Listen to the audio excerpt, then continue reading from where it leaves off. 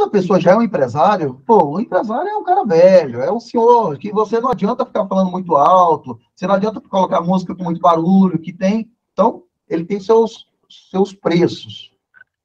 Você vai comprar uma página boa, aparentemente com o mesmo público, idade público, sexo, se masculino ou feminino maior, depende do seu público.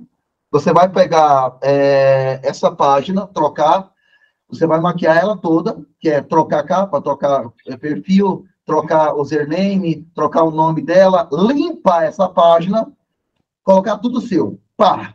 Feito isso, mesmo, mesmo, mesma maquete. Tem a página aqui, compra perfis, tá?